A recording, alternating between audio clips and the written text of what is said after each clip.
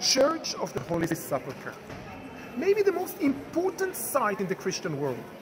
Most Christians, not all, believe that four major events happened here. This is the place where Jesus was crucified. This is where he died on the cross with all of the theological importance of that. This is where he was buried for three days, and this is also the place of the resurrection. If I can put it as simple as I can, I will just say that it's either you believe in the resurrection of Christ and then you're a Christian, or you don't and then you're not. It makes this place to be even more important than the Vatican itself. Now, I told you that not all Christians believe that this is the site.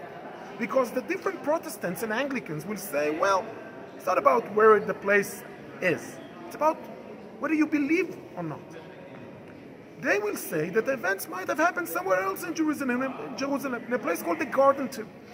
But the rest of the Christian world will say that this is the site.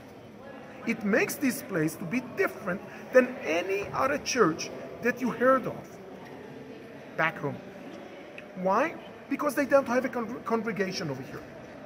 The pilgrims come, they pray, they go back home if you guys were Christians living in Jerusalem, I'm not sure that you would take this place to be your Sunday church.